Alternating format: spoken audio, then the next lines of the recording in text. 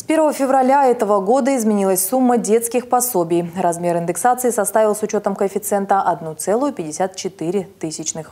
Единовременное пособие при рождении ребенка теперь составляет чуть больше 21 тысячи рублей. Но получить эту сумму смогут только те, чьи дети родились не раньше февраля текущего года. Ежемесячное пособие по уходу за ребенком также увеличивается с учетом этого индекса.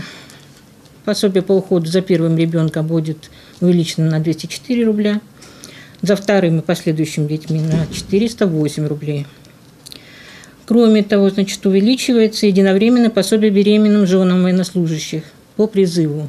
То есть э, папа ушел в армию, муж ушел в армию, а женщина ожидает ребенка. Срок беременности в этом случае должен быть не менее 180 дней. Сумма единовременной выплаты составит 33,5 тысячи. Ежемесячное пособие на период, когда отец ребенка служит в армии, составляет 14,5 тысяч рублей. При рождении третьего и последующих детей до достижения ребенком трех лет пособие составит чуть более 9 тысяч.